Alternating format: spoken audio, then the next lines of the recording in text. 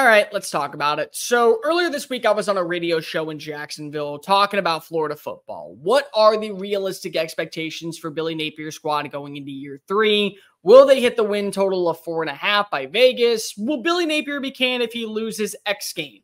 And the conversation eventually led on over to Graham Mertz. What were my thoughts about his first season? Do I think he will improve? What are realistic expectations for the former Wisconsin transfer? And and I compared him to America's favorite side dish that it seems like everyone enjoys, but they never would just scarf down as an entire meal. And since that, uh, the clip has gone viral. Everyone is talking about it. And I've gotten a lot of comments saying, Cole, what exactly did you mean by Graham Mertz is mashed potatoes? Obviously, that's what this video is. So, welcome on into SEC Unfiltered. It's Cole Thompson here. Make sure that you like the video, hit the ring notification so you don't miss a single episode because we're talking college sports and I guess food products every single day leading up to week one. Download the podcast version of the show wherever you get your podcast listening systems. Leave a five star review if you like this type of content. Leave a one star review if you hate this type of content. We're talking mashed potatoes and college football. You you don't hate this type of content. We know that for a fact. Make sure that also you're following us on all the social channels: TikTok, Facebook, Instagram, Twitter at SEC Unfiltered. And to keep up with the number one content surrounding your favorite squad, make sure that you visit secunfiltered.com. This episode is brought to you by Rhoback. Use promo code SECU for 20% off all joggers, polos, hoodies, shorts. Football season right around the corner. You want to look dressed to the nine on game day, make sure that you go ahead and visit Rhoback.com. Promo code SECU. So Graham Mertz is mashed potatoes. I know it's going to take a little bit of time for you guys to process that, but I promise by the end of this video, you will be on my side and know what I'm talking about. Last season, Graham Mertz did not have a lot of expectations. You knew he was a quarterback that had a few starts under his belt during his time at Wisconsin. He wanted a fresh start. He comes on down to Florida. He ends up putting up decent numbers, a little less than 3,000 passing yards, 20 touchdowns, three interceptions. He was pretty decent on the ground as well. I think he had like four touchdowns, even though it was like negative 50 yards rushing. Regardless, the guy was sturdy. When you look back at Florida last season, the incompetence of what happened down the stretch when they were 5 and 2 to finish 5 and 7 was not on number 15. It wasn't. It was on a lot of miscommunication when it came to the defense, which is why they got rid of their defensive coordinator. It's why they've completely revamped the entire style. It's why they went out and they added in new pieces. It was on the erratic play calling. It was on the lack of a number 3 wide receiver. All of those things have been addressed. And so now when you look at Florida, even though their record is basically made by college football Satan himself, in fact, I won't even go that far. Someone is even more sadistic than him to come up with what Florida has to do this year. You realize that Graham Mertz is at best a solid quarterback. Nobody is ever going to complain that Graham Mertz is starting for you when you look at the other options available. Nobody also is going to say that you can't upgrade from Graham Mertz. So you're kind of caught in the middle. And mashed potatoes are a perfect middle ground side dish. Everyone seems to enjoy the starchiness, the foundation, the sturdiness, the stockiness, and also the fillingness of a potato.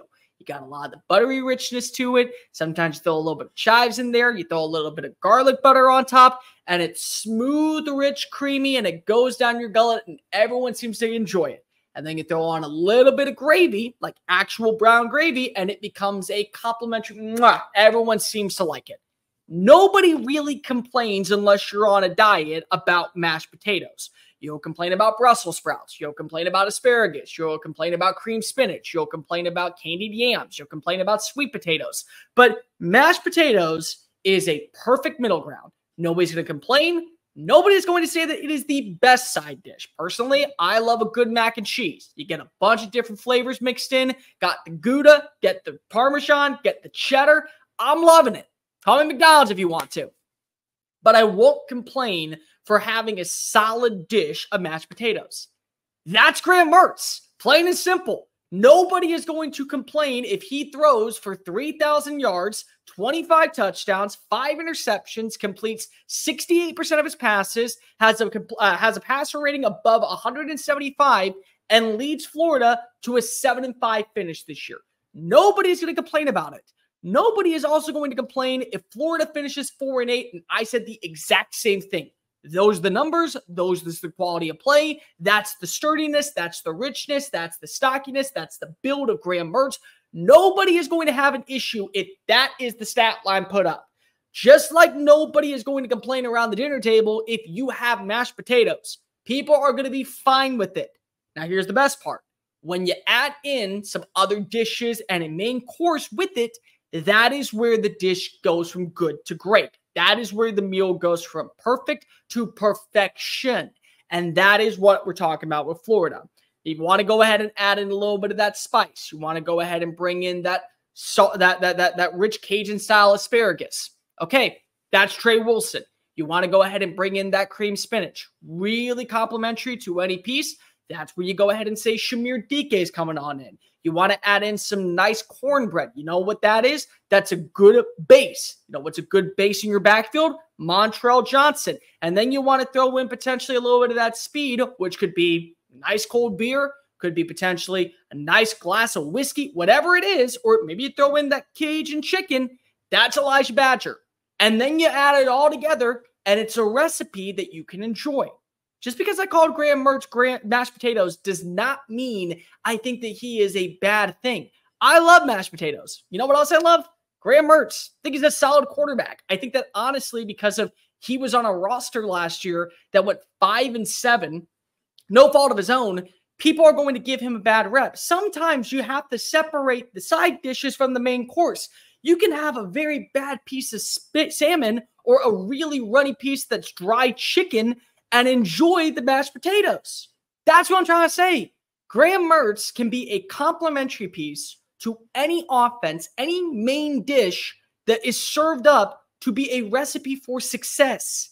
But at the same time, he doesn't have to be the entire main focal point of your team. And that's what it is in Florida.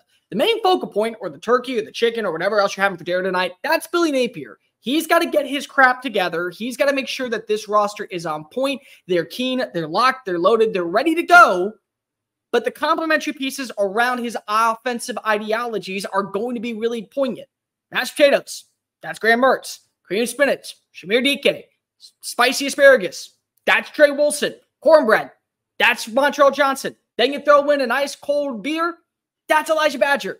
Boom, boom, boom, boom, boom. Everything works together. So at the end of the day, nobody is going to go home, have a bowl of mashed potatoes, and say, you know what? This just isn't it. Yeah, it's not going to be the only thing that you eat. It's not going to be the only thing that fill you up. But at the same time, you're going to have a bowl of potatoes and you're going to say, you know what? That hit the spot. And if you had Graham Mertz at your starting quarterback at your respective university with the right pieces around him as a side dish to your offensive identity, I think you would be okay with it. So now we're all on the same page. Graham Mertz mashed potatoes is not an insult. In fact, in my opinion, it is actually the perfect complement to a quarterback that severely is underappreciated at his school, among his fan base, and more importantly, in the grand scheme of college football. But let me know in the comment section down below. Do you want me to do like more side dishes about players in the SEC, like who ranks where, who's cornbread, who's uh, asparagus, who's creamy spinach. Am I wrong on Graham Mertz being mashed potatoes? Also, go ahead and hit subscribe because we're talking college football. Probably a little bit of food takes at this point. It's you know right before SEC media days. We gotta get content flowing out. Make sure that also you're following us on social media: TikTok, Facebook, Instagram, Twitter at SEC Unfiltered. If you want to hear more about my babbling food takes or anything else that I talk about, follow me on Twitter and my own YouTube channel at Mr. Cole Thompson. Same your name. Make sure that also that you are subscribed and you download the podcast version of the show, iTunes, Spotify, really wherever else you get your podcast listening systems. Leave a five star review like you would at a restaurant that you enjoy. Uh, if you like this type of content, if you hate this type of content, and again, we're, we're talking sports and food during the middle of June, like July. Yeah, you like this type of content. Leave a one star review. And to keep up with the number one content surrounding your favorite team, make sure you visit secunfiltered.com. I'm Cole Thompson. I guess you can call me Chef Thompson. I don't know what, but Later.